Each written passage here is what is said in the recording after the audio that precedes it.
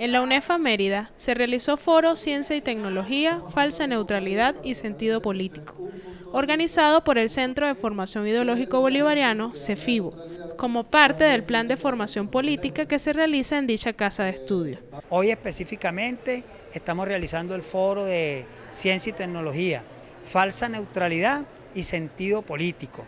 Eh, esta, esta iniciativa pues nace también desde eh, eh, con la participación de nuestros estudiantes desde el Centro de, Estudiantes del Poder Popular Universitario que tenemos acá en nuestra universidad. La actividad contó con la participación de Santiago Roca, trabajador de Senditel, quien definió la ciencia como un bien público Además, Wilfredo Sandrea, profesor de historia, disertó sobre el concepto de neutralidad y su concepción política. O sea, hay desarrollo científico y tecnológico para que la humanidad no tenga ningún tipo de problema, sino más allá de los problemas que puede uno tener amoroso con la novia, con el novio. Atribuir la neutralidad a la ciencia implicaría negar que la misma es creación humana. Históricamente, el capitalismo ha legitimado esta idea.